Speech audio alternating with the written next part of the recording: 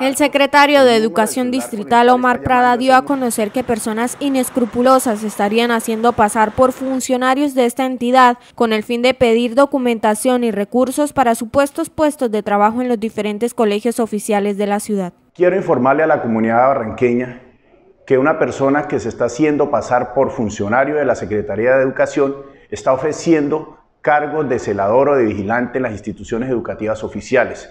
Quiero informar que eso es falso. La persona presuntamente se hace llamar Marcos. El número del celular con el cual está llamando es el número 300-237-6034. Está solicitando 300 mil pesos como apoyo para poder hacer el trámite y está solicitándole las cédulas. Por favor, no vayan a caer en estas personas. El funcionario da a conocer este caso con el fin de que la comunidad no se deje engañar y no entregue información personal que les permita a los delincuentes salirse con la suya.